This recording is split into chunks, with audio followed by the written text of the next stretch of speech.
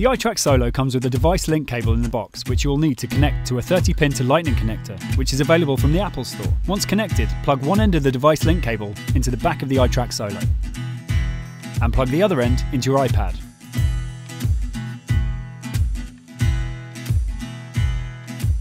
Take the Apple USB power supply and USB cable, connect the cable to the plug, connect the other end of the USB cable to the Solo,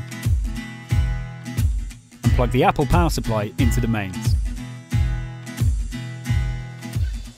Next you need to connect your microphone. Plug the XLR cable into input 1 like so, and turn on phantom power or 48V. This sends power magically down the XLR cable to power the microphone. Some mics need it and others don't, so make sure you check before switching it on, as you can potentially damage your mic.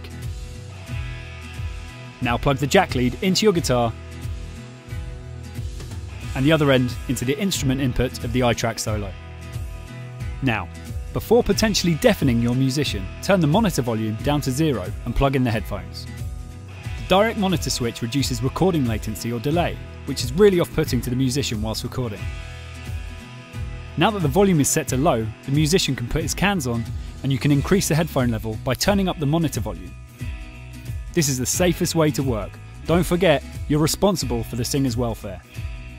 Now you're all plugged in, you need to ask the musician to play the loudest part of the track so you can check the input signals aren't clipping. The iTrack Solo's input gains glow red when the signal clips or distorts, so turn it down carefully until the indicator glows green. In this episode, we're using the Cubasis app, which is available from the App Store. Open the app and create a new recording project. Label the track accordingly we need to create two audio tracks, so tap on the plus symbol here twice and set these up. Now tap the routing symbol and set channel 1 to input 1 mono and channel 2 to input 2 mono to reflect the channels on our iTrack Solo. Finally, record on both channels and hit record to begin.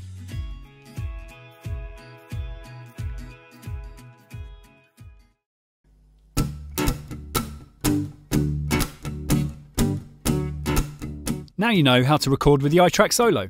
Click here to watch the tips and tricks episode. Go right to the top, and surely everybody knows about it.